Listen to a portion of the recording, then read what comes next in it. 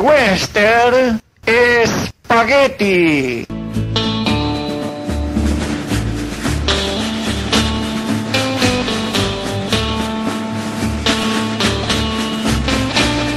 Y ahora vamos a recordar la película Johnny Oro.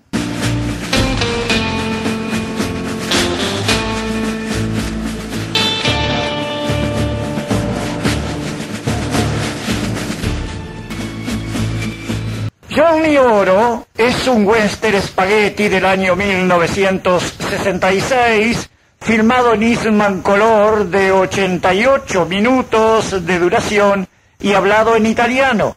Fue producido por Joseph Reed y Samson Film y distribuido por Metro Goldwyn Mayer. También se le conoce como Ringo and His Golden Pistol, su título en inglés que traducido sería Ringo y su pistola dorada. Fue dirigido por Sergio Corbucci sobre un guion de Adriano Bolsoni y Franco Rossetti, autores de la historia original, cuya fotografía fue realizada por Ricardo Palotini, estando el montaje a cargo de Otello Colangeli y de la escenografía, dirección artística y vestuario se ocupó Carlo Cini mientras que la música fue compuesta por Carlos Sabina, conteniendo un agradable tema cantado en la presentación de títulos.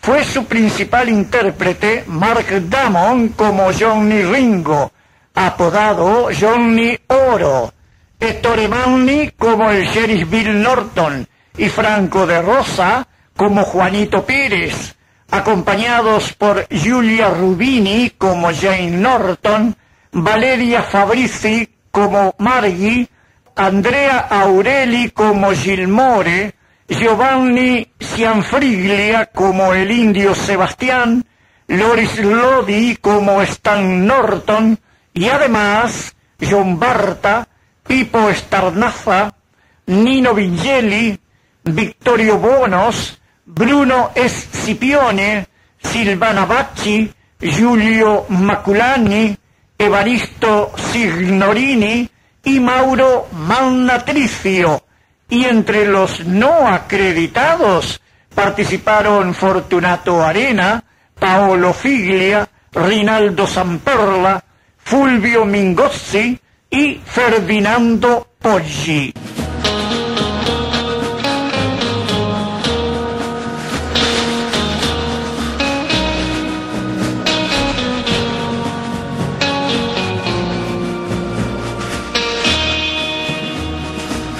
La historia gira en torno a un cazarrecompensas, experto y rápido tirador que viste de negro, con sombrero negro, y que usa un revólver de oro, quien al comienzo llega a caballo a un pueblo y se detiene a metros de la iglesia, donde un mandolero apellidado Pérez está obligando a casarse con él a una muchacha bajo amenaza de matar a su padre con la presencia de sus dos hermanos y dos secuaces suyos.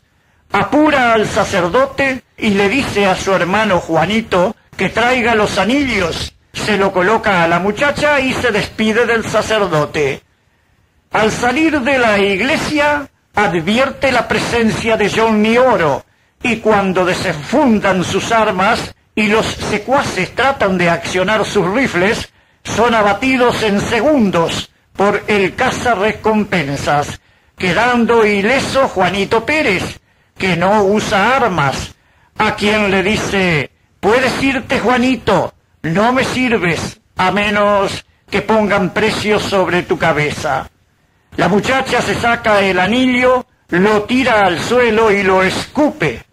Johnny lo recoge y le dice, no debes tirar el anillo, es de buen oro, y se lo guarda, diciéndole, vete y olvida este asunto. Justo llega el alcalde local con dos policías de clásico uniforme mexicano, a quien Johnny Oro le dice, hola Bernardo, llegas justo a tiempo, y saca el afiche de buscados, marca a los dos hermanos Pérez y le dice que son 40 pesos oro y los otros dos te los regalo. El alcalde pregunta por Juanito y Johnny le dice lo he dejado ir porque no tiene recompensa. El alcalde ahora le paga con monedas de oro y le dice cruzas la frontera y vienes a México a hacer justicia. La vida es cara por estos lados. Y Johnny le responde no es cara, es corta. El alcalde le advierte que se cuide porque los Pérez tienen muchos amigos que buscarán vengarse.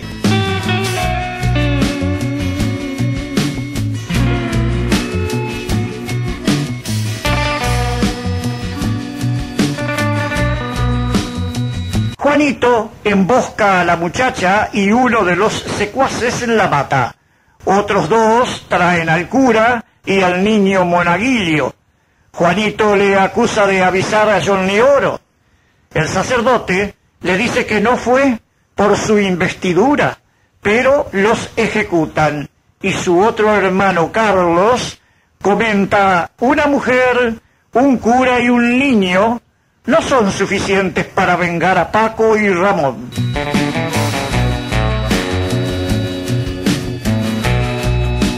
La escena pasa a un pueblo llamado Coltone, en el que hay un carril aéreo que se desliza entre columnas de madera y un viejo cañón como monumento. El sheriff, Bill Norton, debe lidiar con un indio ebrio en el salón al que golpea y lo echa, diciéndole al dueño que está prohibido vender alcohol a los indios. Llega Johnny Oro y le saluda, le entrega su pistola con el cinto y saca su boquilla de plata en la que coloca un cigarrillo.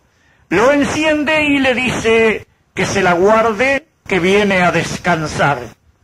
En la celda de la oficina está Gilmore, un viejo muy perpicaz que conoce todo por allí, ya que parece un huésped permanente.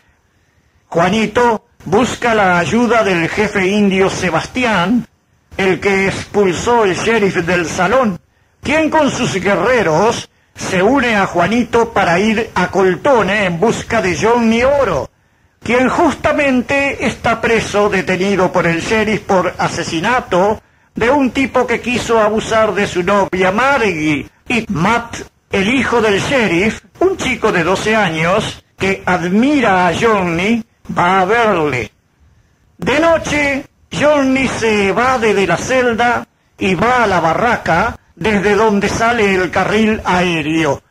Carga la vagoneta con pólvora y la hace llegar hasta la primera torre cercana al cañón y regresa a su celda.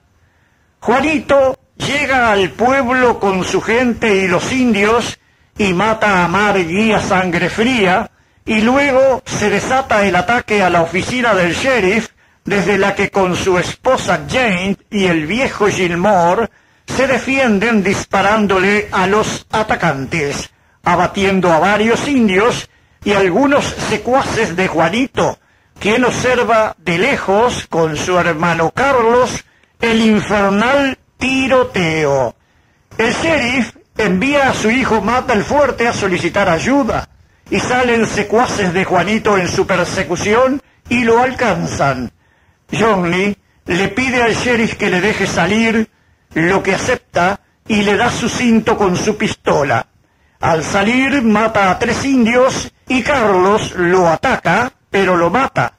Toma un farol y lo enciende arrojándolo a la vagoneta del carril y explota la pólvora cayendo la torre que mata al indio Sebastián que intentaba disparar el cañón hacia la oficina del sheriff. Caen las otras torres y se genera un incendio en la calle. De pronto, Juanito, escudado con el hijo del sheriff como rehén, enfrenta a Johnny Oro y le grita que se saque el cinto con el revólver y lo arroje o mata al niño. Johnny lo hace, arrojándolo metros delante suyo, y camina hacia él mismo con la boquilla de plata en la boca, con la que encandila a Juanito con el reflejo del sol, y cuando Juanito se descuida por taparse los ojos, se arroja hacia su arma la que rápidamente toma y le dispara, impactándole en la frente. El niño corre hacia él y lo abraza. La explosión ha liberado cientos de monedas de oro que estaban escondidas en el cañón, producto de un robo de los Pérez, y le dice al sheriff, ese oro te servirá para reconstruir el pueblo destruido por mi culpa, y saludándolo se va lentamente en su caballo.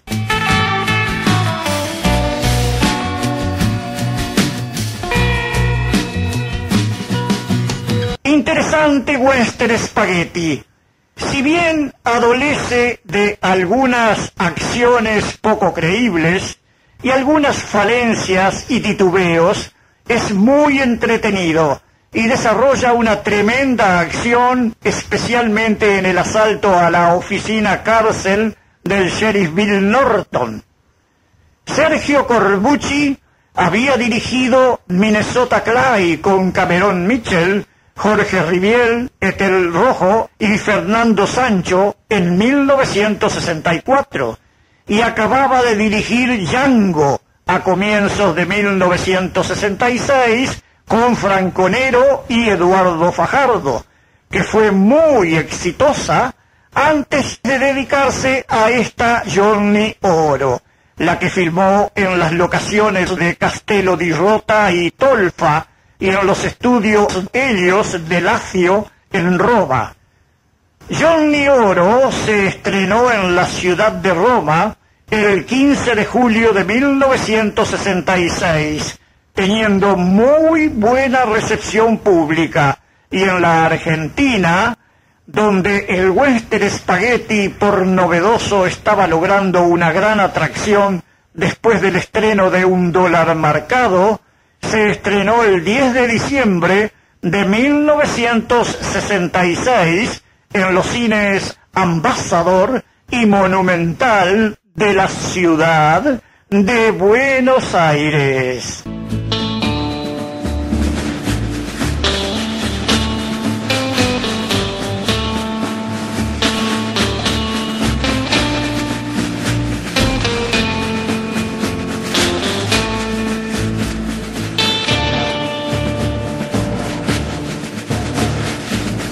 Y esto fue el western Spaghetti, recordando hoy esta muy interesante película con Mark Damon, dirigida por Sergio Corbucci, que se tituló Johnny Oro.